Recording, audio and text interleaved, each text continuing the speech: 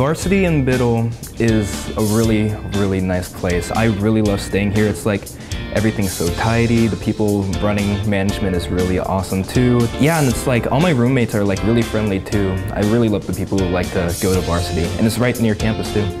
I would say come here. Uh, it's, it's very convenient in terms of location. Um, you're not far from UB, MICA. Um, they got stores and places to eat and go and hang out around here. Um, I think it's a very good central location.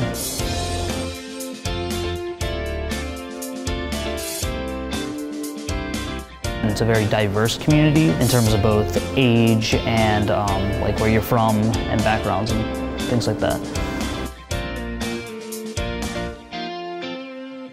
The gym facility is a good facility. So we have we have like um, cardio. You have machines that you can use to exercise your back and your chest, and it's very clean. The weights are always racked down. Um, people people tend to be very good about cleaning.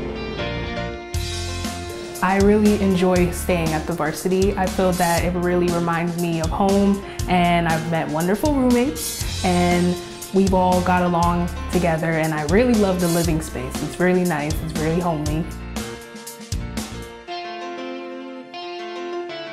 I love my room here at the Varsity. Um, it came fully furnished, it's very personable, and I have my own bathroom that's easy access.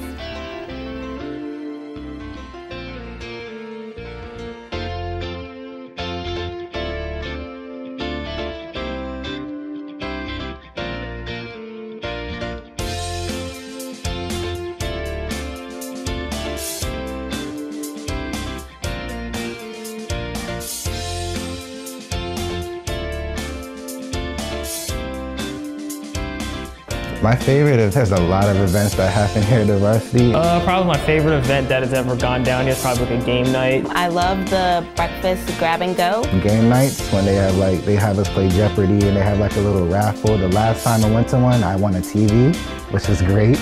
I would choose, I think, the Valentine's Day movie night.